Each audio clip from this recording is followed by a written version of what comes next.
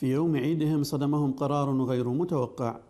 المعلمون الوافدون فوجئوا بتخفيض بدل السكن الخاص بهم بواقع 60% انخفض البدل مما يعادل 500 دولار إلى 200 فقط.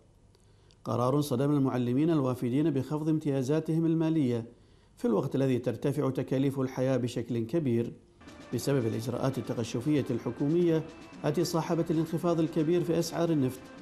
والتي كان من بينها تخفيض مزايا مالية عن شرائح عديدة منها المدرسين وكبار موظفي الحكومة. إيجار الش- الشقق السكنية بيتراوح بين 250 دينار 260 270 فمن الصعب جدا إن أنا أدفع نص راتبي سكن و... والنص التاني هعيش منه أنا وأسرة مكونة من أربع أو خمس أفراد. ده شيء صعب فعلا. فقد رفعت أسعار البنزين على الجميع أواخر العام الماضي بنسبة تصل إلى 80% كما سيتم رفع أسعار الكهرباء والماء أواخر أغسطس المقبل بواقع سبعة أمثال أسعارها الحالية. وتردد حديث عن رفع تكلفة الخدمات الصحية على الوافدين اعتبارا من الشهر المقبل.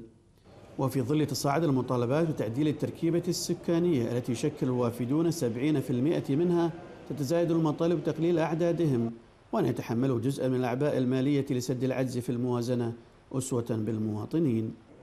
لكن آخرين يحذرون من التضييق على المعلمين ومخاطره على العملية التعليمية. يعني أنت قاعد كأنك لما تقلل عليه هذا كأن قاعد تلعب نفسيته. هذا مدرس.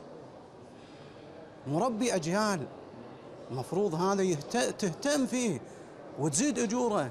البعض يطالب بإعادة هيكلة التعليم بشكل جذري لكي يحقق أهدافه.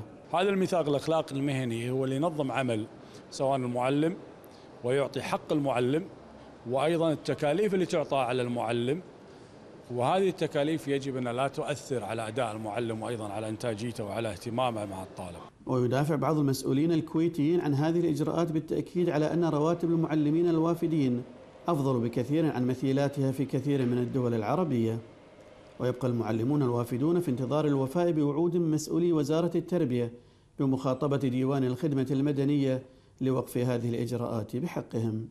مربون نشء وصانعو الأجيال يجدون أنفسهم في وضع معيشي صعب. من دون استقرار نفسي ووظيفي يمكنهم من أداء رسالتهم على الوجه الأكمل. وضع إذا ما استمر سينعكس حتما على التعليم ومخرجاته. سعد العنزي اسكانوس عربية الكويت.